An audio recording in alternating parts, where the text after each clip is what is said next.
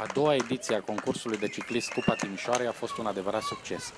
Competiția a aliniat la start cei mai în formă cicliști profesioniști din România, dar și mulți amatori pasionați de această disciplină. De la Cupa Timișoarei nu au lipsit nici copiii care s-au întrecut pe categorii de vârstă, fiecare primind un premiu de la organizatorii evenimentului.